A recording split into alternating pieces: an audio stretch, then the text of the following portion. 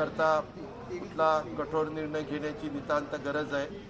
अशी चर्चा झाल्यावर मी ताबडतोब मुख्यमंत्र्यांशी चर्चा केली आणि मग साडेबारा वाजता मुख्यमंत्र्यांनी त्याबद्दलची बैठक लावलेली आहे. त्यावेळेस अंतिम निर्णय होईल की शहरापुरतं ठेवायचं का पूर्ण जिल्ह्याला लागू करायचं. लग्न कार्य असतील किंवा इतर जे कार्यक्रम असतील यावरती काय बंदी? अहो लग्न कार्य महत्वाचं आहे का? करोनामध्ये माणसांना वाचवणं महत्वाचं आहे.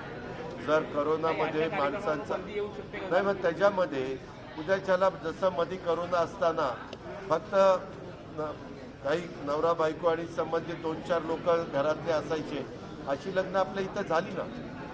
आपण हे काही हे असं व्हावं अशी कुणाचीच इच्छा नाही आहे मधल्या काळातलं सुरुवातीचं गांभीर्य नंतर नंतर लोक आपापल्या कामाला लागली.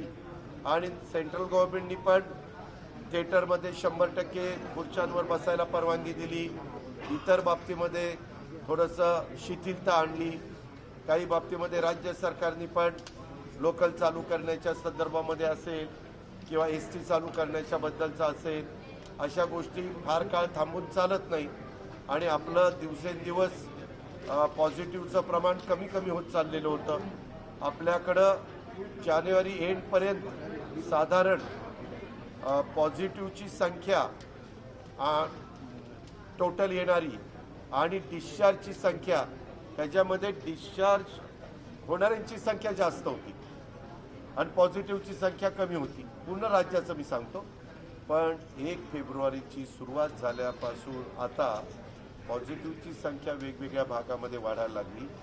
त्यातल्या त्यात अमरावती विभागामध्ये हे आपल्याला अधिकचं दिसतं विभागामध्ये नंतर नागपूर विभागामध्ये नागपूर असेल वर्धा असेल तिथं आपल्याला पाहायला मिळतं आहे नाशिक विभागामध्ये काही बाबतीमध्ये आपल्याला पाहायला मिळत आहे आज तर मुंबईचं एवढं मोठं पॉप्युलेशन असताना मुंबईत पॉझिटिव्हची संख्या नाही पाहायला मिळाली. त्याच्यापेक्षा जास्त अमरावतीमध्ये मिळाली.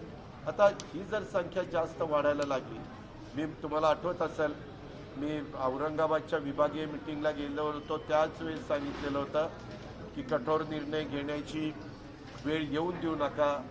सगळ्यांनी ही गोष्ट गांभीर्याने घ्या. थोडंसं सिरियसली सगळ्यांनी घेण्याची गरज आहे. काय म्हणजे थोडंसं सगळेच जण बाबा आता करोना कमी कमी झालेला आहे. आता पूर्वीसारखं वागायला राहायला काही अडचण नाही.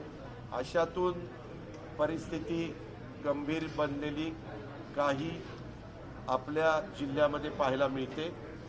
ते त्याचा प्रसार अधिक वाढू नये म्हणून जी खबरदारी घेण्याची गरज असेल ती खबरदारी राज्य सरकारकडनं घेतली जाईल. अधिवेशनाच्या बद्दल आजच कामकाज सल्लागार समितीची मिटिंग आहे.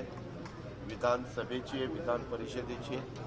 तिथं याबद्दलचं अधिक बार बा विस्तृतपणे चर्चा त्या ठिकाणी होईल.